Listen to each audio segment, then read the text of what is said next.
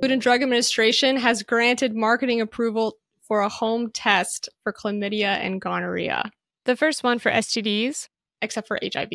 I really dig this. I feel like it's like a pandemic era thing where we all got used to doing at home tests for COVID. And there's no real reason why we can't do at home tests for, let's say, the flu. Um, there's no real reason why we can do an at home pregnancy test and not one for STDs as long as the test exists.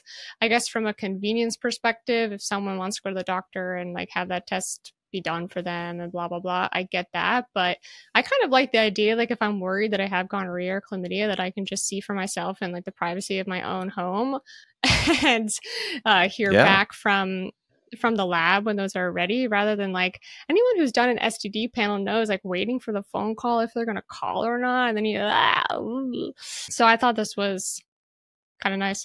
I mean at home testing in general as you just said unless it's a radiology test, unless it's a test where there is some risk in taking the test, right? So, mm-hmm. blood work, you're sticking a needle somewhere.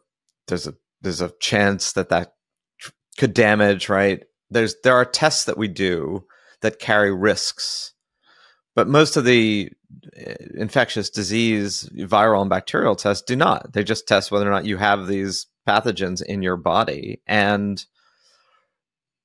as you just said, one of the things about the pandemic was most of these things could be done in the privacy of your own home. And not just that, but a hell of a lot cheaper without mm. the intermediation and labs and all the things that come with it. So, more, more, more, absolutely. And we should commercialize all this. We should remove whatever regulatory framework stands in the way of it. And we should, anything that you can do at home that does not carry significant risks of damaging yourself while doing them should be done at home.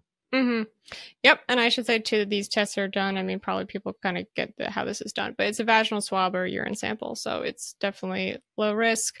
I'm sure there's someone somewhere that will do, something to harm themselves well, with I mean, these. But every, everything can have some theoretical risk. Let's just accept that. But it's yes. different than like blasting yes. yourself with radiation or jabbing yourself with a needle. Hundred percent. Yes.